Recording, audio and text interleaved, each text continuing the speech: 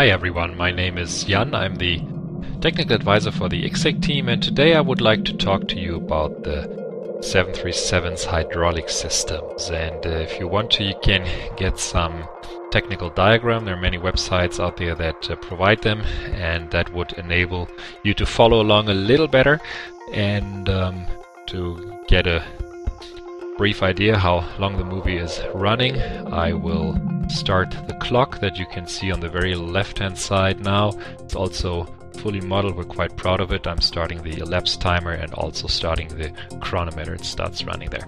And the main indications for the hydraulic system is um, on the center panel. You can see it on this row on the right. On the bottom, the hydraulic quantity 99, 98%. Also the pressure right now indicating zero. And on the very right side, you see the indication for the emergency brake cylinder. It's at just over 3000 psi now. Up on the overhead panel, the pump switches.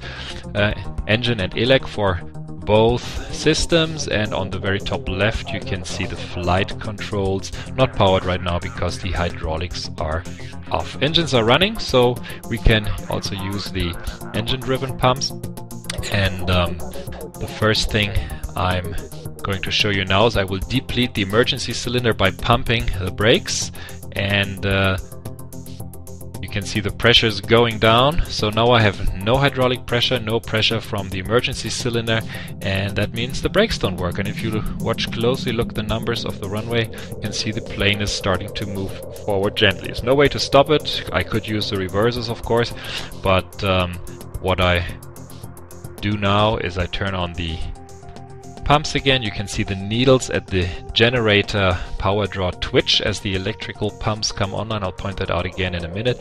And I hit the brakes, set the parking brake. Plane is saved for now. Okay, um, what are we going to do now? I'll show you how the ELEC pump turns on and off again, and you can see the needle twitch ELEC uh, 2 is connected to generator 2, they're cross-wired, so in case of an engine failure you still have a full hydraulic system even though the engine-driven pump isn't working and the generator of that engine isn't working, but the other generator is powering the respective ELEC pump. Okay, I'm going to extend the flaps now, watch the hydraulic quantity and also the pressure dip as the hydraulic motor starts working. And uh, yeah, you can see B system, which is powering the flaps going down a little bit as the leading edge slats and flaps deploy. You can see the quantity come down. That's all done. Now to demonstrate the power of the engine driven pump, I'm going to turn it off and let the ELEC pump do the work again. Now watch the power draw go up much higher this time because it's doing all the work by itself. I'm uh, retracting the flaps now and you can see the generator 1 is providing power for the B ELEC pump. And you can see the power or the uh, pressure dip much lower this time and also takes a lot longer to retract the flaps and the slats uh, because the ELEC pump again is not as strong as the engine driven pump. So now it's all done. You can see the pressure jump back up and um, I'm going to turn the pressure on again for the engine driven pump. Want to show you the auto brake system real quick, also fully modeled. Just uh, I'm going to arm it for the RTO mode, a little self test. The orange light extinguishes and it's dependent on B hydraulics as well. So when I turn off the B hydraulics, the auto brake will also fail. And you can see that little orange light is on. And of course, to get it back, I have to set the put the pressure back on, then I can reset it and turn it back to RTO. Okay, let's pretend now that uh, we have a problem in flight, maybe a line ruptured or so, we lost the B hydraulic fluid, and um, we simulate that by turning off the B pumps. So I'm panning back to the overhead panel, turning off the B pumps, and you can now see on the center panel that the pressure goes down, auto brake disarmed again of course, and there's no more pressure in hydraulic system B. I get a master caution too. That's because the pumps aren't running and not putting out pressure. I cancel that by pushing the master caution, push the reset button. And I'm uh, also turning off the auto brake because I don't want any orange lights on in the cockpit. That's a old habit. Now I extend the flaps to 1 and uh, since the B hydraulics are powering the flaps, nothing happens. The lever is set to 1 but there's no pressure to drive the flaps and they just sit there. So what you would do in flight is of course you need to get the flaps out and there's a way that Lufthansa and uh, Boeing of course provided for that. Um, the first thing you do if the B hydraulics fail is you turn on the standby system. I grabbing the switch, see I move it to off, the yaw damper jumps off. It was off before, it's dependent on B hydraulics, but uh, doesn't show until the flight control switch is moved from the on position and um, I'm moving the flight control switch to standby rudder. You can see the low pressure light come on real short that it's armed only when it's commanded on. So this is a good sign for me to know that the standby system pump is working. Another way to turn on the standby hydraulic system is to use the alternate flaps switch when you move it to arm. Again, you will see the low pressure light come on real quick, turn off.